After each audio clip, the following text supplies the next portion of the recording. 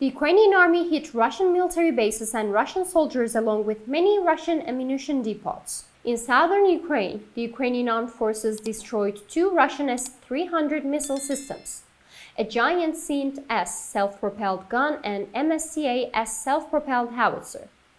In southern Ukraine, the Ukrainian armed forces killed 20 Russian soldiers.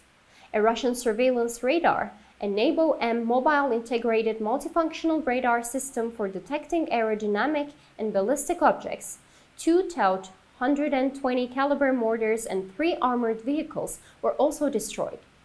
The total losses suffered by Russia have not yet been determined.